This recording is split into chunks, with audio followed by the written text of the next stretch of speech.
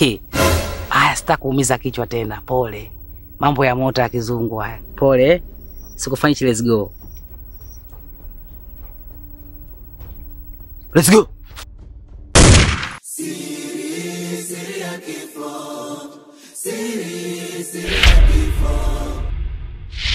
Kama unavyojua mdogo wangu, yani ulivyonielekeza ndo vile vile kuwa yule demu nimemfananisha. Ah, na vile nilivyoenda kukutana naye kwamba amenielekezwa kuwa wapo mapacha wale mademu, na mmoja ndo yule alokuwa kule mjini kule, ambaye nilokuwa mimi nimejaribu kumapproach na kutaka kutoka naye, ila mwisho wa siku alifariki na sikufanikiwa chochote. Na hivi nilivyojaribu kuongea naye huyu wa kijijini kwenu huku, naye kanichomolea kaniambia hawezi kuwa na mimi, kwamba mimi ndo chanzo kilichofanya kwamba dada yake akafariki. Mwisho wa siku ndo kama hivyo unavyoona, na kikubwa yule mwanaume alomuoa marehemu dada yake yupo hapa kijijini na amekuja kwa nia kutaka kumuoa yeye tena, maana dada yake alishafariki. Kwa hiyo sina jinsi, na mimi yule mwanamke kashanikataa, kwa hiyo inabidi nijichenge tu, ninge zangu town, mdogo wangu. Alidi blaza, kama mazingira yenyewe yamefeli, na kumbuka kabisa ulinielekeza kabisa nikiingia tu huku nikutafutie mchumba, na mchumba wenyewe ndo kashaleta pindisha pindisha, nikaleta zeshen. Kwa hiyo tunafanyaje sasa hapo blaza? Sasa fikiri tutafanya nini mdogo wangu? eh? Kwa hiyo nitakukinda vipi hiyo laki mbili wakati wewe mwenyewe unaona kabisa mishi yangu imekwama, mimi mwenyewe nimekuja huku nimepoteza nauli, tumeishi, tumefanya mambo kibao mdogo wangu katika mazingira ya kumlinda yule manzi. Sasa nafikiri inakuwaje? Sema no sweat mdogo wangu, mimi nakukinda ishirini kilo safi, kanichukulie begi mile nijichenge. Hapo kwenyewe maokoto tu blaza, elfu ishirini maokoto tu tunaishi nayo. Utawala wangu chukule begi hapo.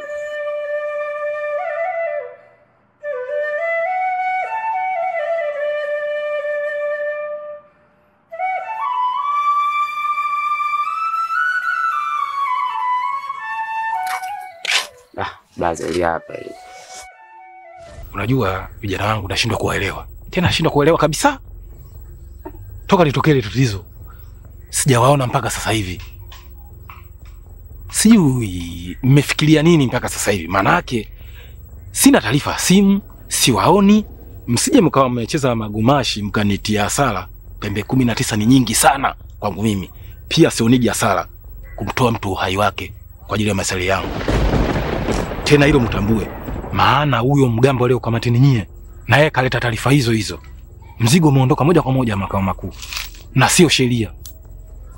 Uje kwangu kwanza, alafu ndio uende kule. Nashangaa msije mkawa mnanichezea mchezo, alafu MC ndio simuoni kabisa. Sasa nawaambeni, mtafuteni MC, mtafuteni MC. Mimi sina masiana na mtu. Ondoa wasiwasi. Mzee hawezi kufanya jambo lolote sisi, kwa sababu kazi akitukabidhi sisi alimkabidhi MC, na siku ambayo anipigia simu mimi nikamwambia siwezi kwenda bila MC. Umeona? Kwa hiyo ondoa shaka. Hizi kazi zingine hizi ni kazi haramu.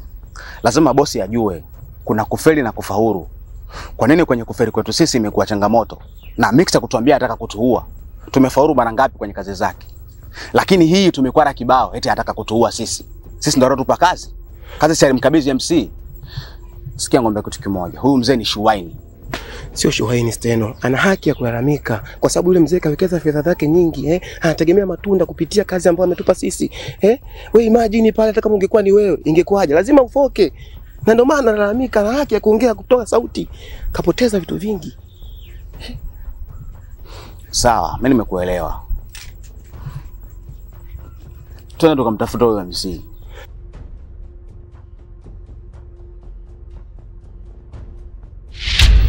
Hayo ndiyo Jasmine aliyokuja kuniambia. Umeona, akanielekeza na mimi nikaona hakuna ubaya, lakini kwa sababu nilikuwa niko peke yangu sikuweza kuamua maamuzi ya moja kwa moja mjomba, kwa sababu mama yake yupo hajafariki, amesafiri, ni safari. Nikaona sio vibaya tumsubiri mama yake arudi naye aje aliafikiri, lakini kwa mimi jinsi nilivyoliona hili ni jambo la heri. Ila Ankari, kitu ambacho mimi naona hapo sioni kama kuna shida yoyote, kwa sababu ukija kuangalia vizuri, yule kijana hana makosa. Mwenye makosa hapo ni yule baba wa watoto.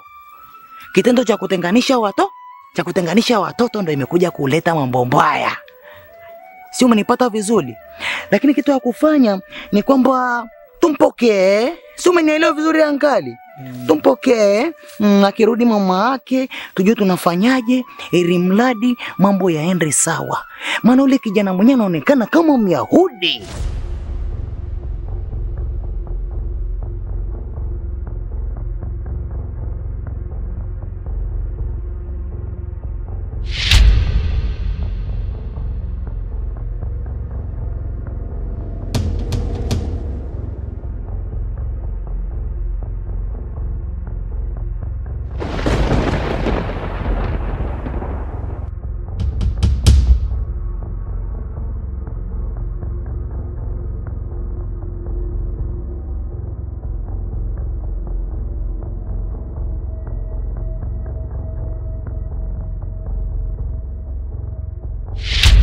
Yaani kama Myahudi, Myahudi kafanania na Myahudi kwa mbali, yani hivyo. Kwa hiyo sio mbaya tukachanganya hata marangi nini, maana inakuwa mambo safi tu. Au unaniambia jangali? Ah, mjomba, hilo ndo tunalolisubiria. Mama yake akiafiki kutalinta mwaha mjomba. Ash, yani ankali hapo kidogo umeniacha kwenye kilugha hiyo. Unajua kule kono mimi sijaishi sana, so naelewa. na ndio maana mjomba, nawaambiaga mujifunze viruga vya mama yenyu, muvimanye tunachokisema sisi nao ukijue mjomba, si ubanje kukanyiru kuyangisha kuchuga kunuko. Fahamu lugha ya mama yako bwana. Nimekuelewa ankari, yani nimekupata vizuri. Ila um, ankali, mimi nadhani ni kitu kimoja, na imani mama yake akirudi tu naye lazima atakuwa upande we upande wetu. Yesu wangu na Maria, yani kama naona hiyo sherehe itakavyokuwa, yani ni mambo moto, mambo mbaya, yani watu wote wenye mamdomo sherehe hapa mtaani ni kufunika kufunua, yani ni yeru yeru, yani tapiga hapo maukunga ya kerewini navyomwona dadangu Jasmini pale kati, yani mawenje wake ankali takufundisha kichoga.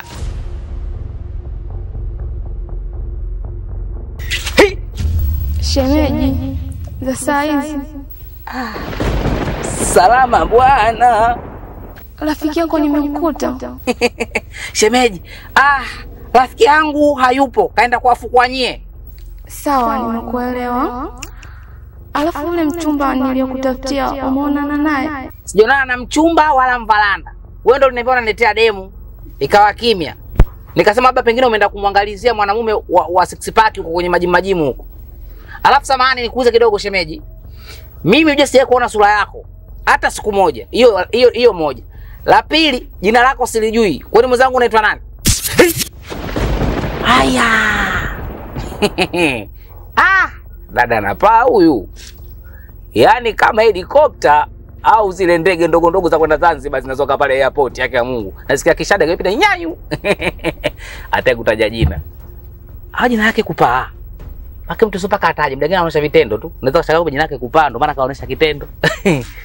ah, sasa hivi si waogope wapuuzi wale. Njooni na miguu yenu. Sasa mbona kaenda juu? Wafu si wanafufukiwa chini, huyu anaenda juu vipi? Ah, labda kaenda kutinga. Labda kuna mitingo huko. Ah, kumbe ndio ilivyokuwa. Eh, hivyo ndivyo ulivyokuwa. Basi si wanao tumeingiwa na wasiwasi. Hasa Steno namwambia king'ang'anizi MC kashikwa kashikwa atatutaja. Nikamwambia MC mimi namwamini hajashikwa. Ya hata hivi nimekutana na wewe njiani. Kidogo moyo wangu na amani sasa. Oya, wakukamatwa sio mimi kicha wangu. Kunikamata mimi ufanye kazi kama wanakamata upepo kicha wangu, sio bwana. Alafu isitoshe, mimi Rubanza hawezi kunikamata, unaelewa? Ana elimu ya kutosha katika ubongo wake, ndio maana amekuwa mgambo. Ni bora wangeniletea mimi serikali kutoka ngazi ya juu, sawa bwana, ni watu wenye manyota yao, ndio angenikamata MC. Yaani kifupi, baada sikisiki ile la wagambo kukimbizwa, mimi kati narudi njiani nilikutana na Kisofa akasema anataka kwenda kupeleka umbea kwa mwenyekiti.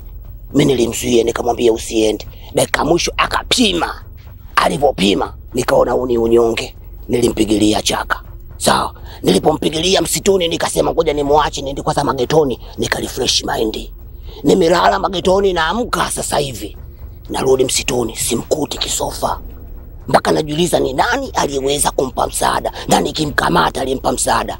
Nitampiga kisi, yani apate maumivu, na mimi ndo nitakaenda kumtibia. hapa ishakuwa cheche familia yangu.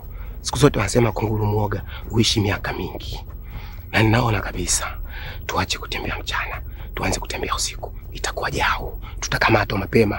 Acha nikutoe hofu Bongobini kuhusiana na swala la mwenyekiti. Mwenyekiti anaongea hivyo kwa sababu hajaniona, hii sura hajaiona, sunaelewa. unaelewa? Mimi mwenzako ni kijukuu cha Mtume, sawa bwana. Sikiza nikwambie kicha wangu, oso bwana, hiyo imeisha hiyo. Hapa mimi nenda mtaani. Mimi nyumbani siwezi kwenda, acha twende wote kwenye msafara wa mamba. Kenge akosi, acha niwe kenge, ninyemelee nyuma nyuma. Hiyo imeisha hiyo, mboi hetu wenzetu.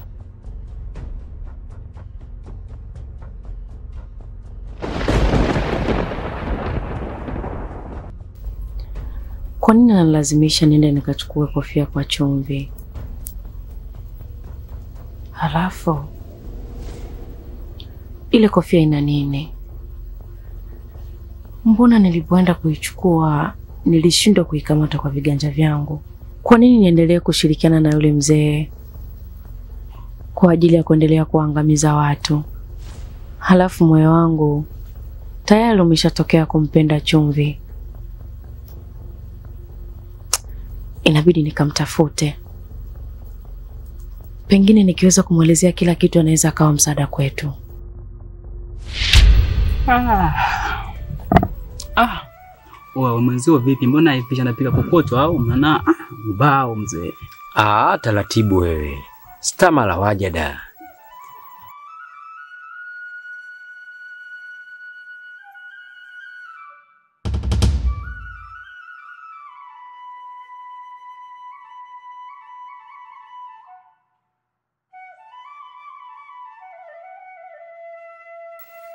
Wauni!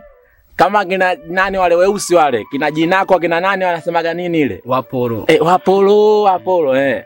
Ah, na nitafanyaje tena? Nitafanyaje sasa? Bwana njichekeshe chekeshe kama nimekula tunda za bangi. Eh, kama wanafunzi wa bweni ule wa chuo. Ehe, kulikoni? Umejuaje kwamba sisi tupo hapa? eh? Eh? hapa nikuulize wewe labda. Kwani wewe ume, umejisaulisha? Wewe umesahau? Si tulikuwa wote mjini kule nani alisema kuna mtu kafanana na mkeo Oh. Niligafirika ndugu yangu. Nilidhani nipo hapa kwa mipango ya mfungwa. Kumbe wewe ndo chanzo cha mimi kuja kwenye kijiji hiki. Na alikadhalika pia hata kupajua hapa. Mfungwa ni sababu tu. Ah, mzee, fanya ngo. umri unaenda huko. wewe wako unabaki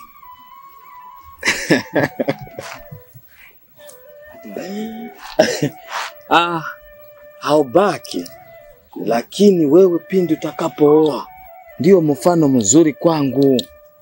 Umri unaenda blaza eh? Mimi unajua sitakagi kuoa kwa sababu yangu maalumu.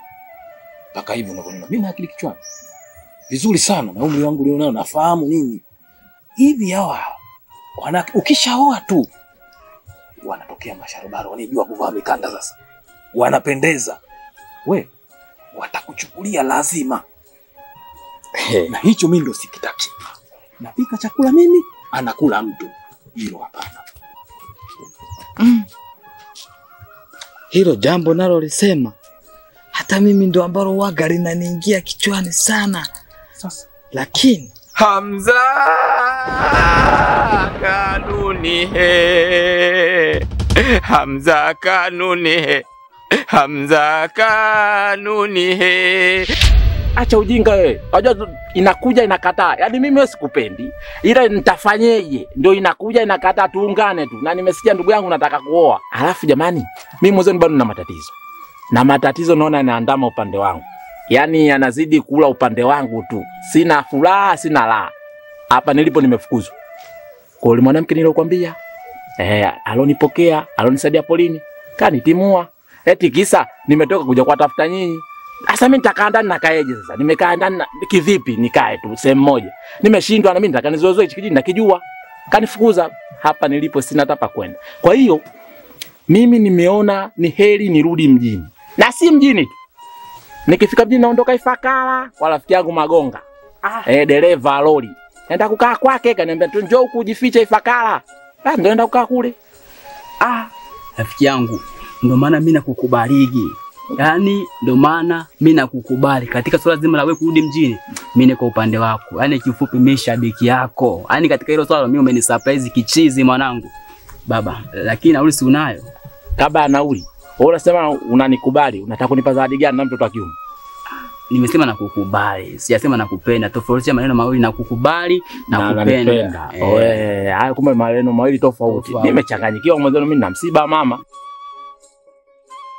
Jamani, chakula tayari. Sasa sijui mtaenda kulia ndani au niwalete tu hapa hapa.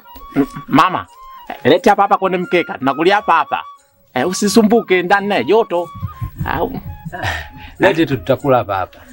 Kumbe kuna ugeni mwingine pia. Eh, gani mwingine umeongezeka. Basi ngoja niwalete. Ikabidi asafiri kuelekea kwa mwenyekiti, na hiyo ndio ilikuwa mara yake ya kwanza kuvua kofia. Mwenyekiti, sheria iko wapi? Mbona nanyanyaswa mimi katika hiki kijiji? Kosa langu nini? Kosa langu kum... Mwenyekiti, hivi sheria ipo? Ipo. Sasa kama sheria ipo, kwa nini haifuatwi? Eh? Ikiwa sheria yenyewe alianza kukabidhiwa Bwana Mtume Muhammad sallallahu alaihi wasallam. Eh? Aliamriwa kufata sheria pale alipoambiwa thumma jaalnaka ala shariati min al-amri fatabiha, kisha wewe mtume tukaifanya sheria iwe ndani yako kwamba uifate sheria. Kwa nini sisi hatufati sheria?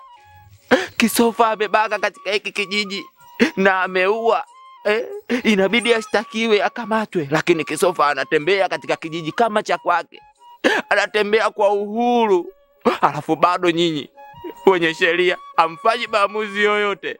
Eh, inaniuma sana.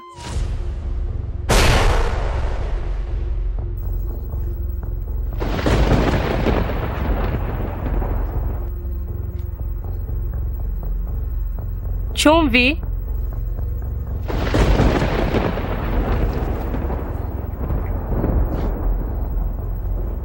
Chumvi. Be, eti be, naam, nani wo?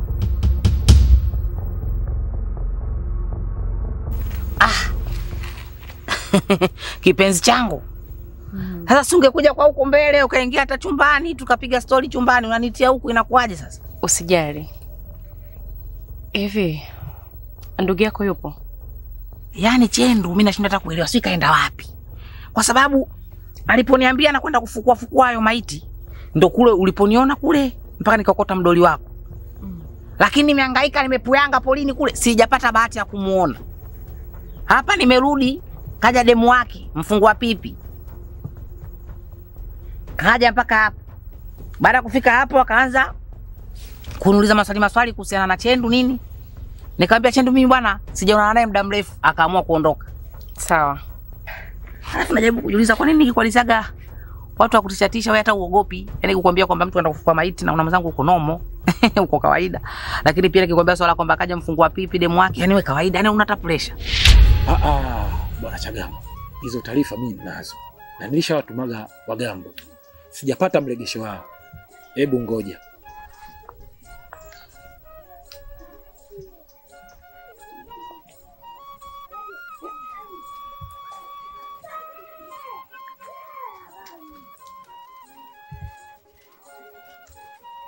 Eh, bwana Lubanza, wewe ndo mgambo unakuamini sana hapa kijijini.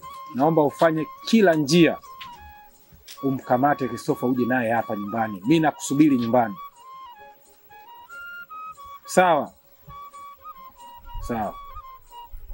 Chagama, usiwe na wasiwasi mwanangu, kapumzike. Wewe kapumzike.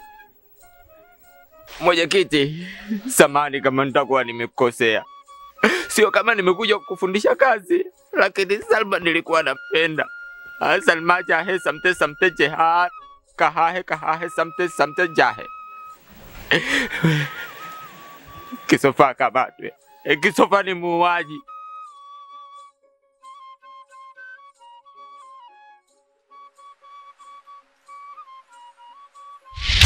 Yaani jaribu kujiuza mwenyewe. Ehe, niambie. Kuna kitu nataka nikuulize.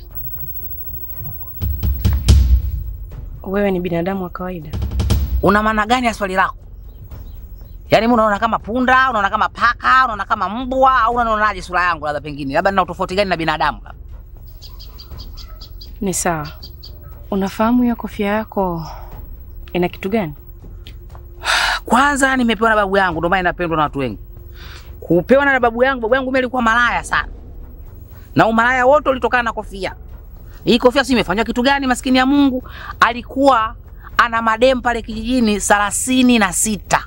Babu yangu mzee Ngemba alikuwa na mademu thelathini na sita na hao mademu wote wanakujaga pale nyumbani, walikuwa wanalia kama watoto wanalilia penzi la babu. Sasa siku hiyo hali imezidi kuwa mbaya, akaniambia babu, nakupa hii kofia itakusaidia kupata mademu bila kutongoza. Lakini ukiachana hivyo hivyo, pia hii kofia ina mizimu, na ilijua hilo kwa sababu kuna mganga nilikutana naye huko na akaniambia, ndio maana nimekuja huku najiamini kwelikweli, kwa sababu naamini hakuna mbuzi yoyote atakayenisumbua, labda nivue kofia hilo hilo nalijua. Lakini hata kuna dogo moja tu Kipunje anaishi huko kijijini huko Mkongo Rufiji, Kipunje. Huyo Kipunje sha kuniambia hiyo kofia usiivue, nikasema kwa sababu gani? Lakini tangu mimi niko pale nilipata tetesi ya kwamba Kipunje ni mbea, taarifa za, za, za mtu yoyote anazijua. Kwa hiyo alivyoniambia vile nikaona mmm, pengine mtoto mdogo huyu mbea kuna kitu kakisikia. Nikamweka makini sana. Ndio maana kofia sivui. Nimekuelewa vizuri sana kakaangu, lakini usichokijua ni kwamba kijiji kizima kinatambua kwamba wewe ndio umehusishwa na hii kesi, yaani wewe ndio mhusika mkuu.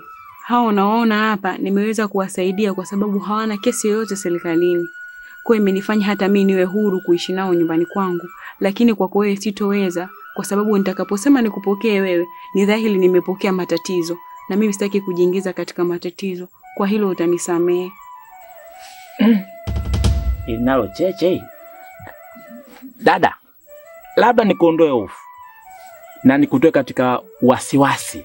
Unajua, ni kweli hii kesi imenikalia pabaya na naona kweli imenikalia kooni, ila bado ombi langu liko pale pale. Nachoomba tu nipe hifadhi, jitoe kama mwanamke, nisaidie. Mtoto wa kiume nimekwama, nipe hiyo hifadhi na kuahidi sitotoka nje, nitakaa ndani na nitatulia tuli kama maji katika mtungi. Nakaa ndani kimya, sikoi wala sicheki wala sinung'uniki.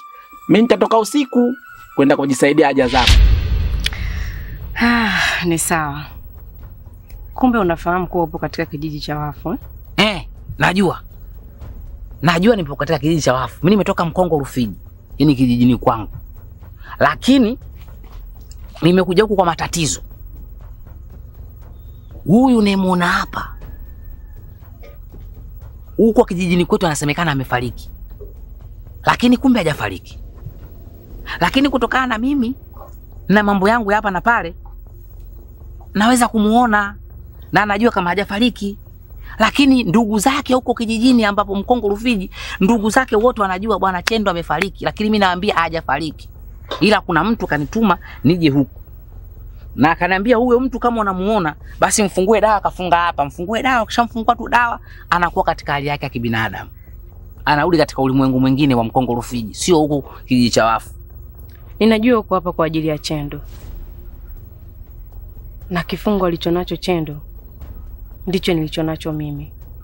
Kwa macho ya kawaida huwezi kuelewa kama mimi ni mfu niliye hai, na utofauti kati ya mimi na Chendu, dawa aliyofungwa yeye mkononi mwake ndiyo iliyopo kiunoni mwangu.